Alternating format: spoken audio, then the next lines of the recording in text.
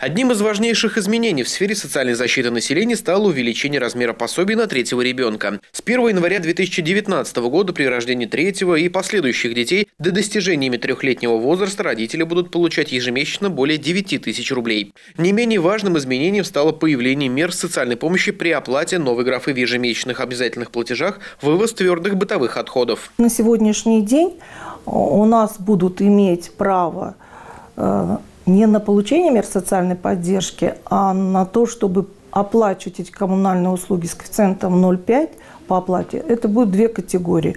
Это малоимущие семьи и одиноко проживающие граждане квитанциях с кварплаты эти категории граждан сразу увидят сумму к оплате с учетом сделанной скидки. На сегодняшний день на льготу в Сарове могут рассчитывать 618 человек. Еще одно изменение коснется некоторых жителей многоквартирных домов. Изменился перечень категорий граждан, претендующих на 100% компенсации этой статьи расходов. Как известно, у нас по оплате капремонта 100% получают все граждан, кто старше 80 лет. А вот если они инвалиды, они получали у нас 50%. И вот это устранено на сегодняшний день. Также компенсации по капремонту будут получать участники ликвидации Чернобыльской АЭС и участники боевых действий. Как и прежде, компенсация будет начисляться только после оплаты услуг гражданами в полном объеме. Следует помнить, что возмещается 100% суммы только от социальной нормы. Все изменения уже вступили в силу, поэтому гражданам, претендующим на получение компенсации льгот, никаких заявлений в Центре социальной защиты Сарова писать не нужно.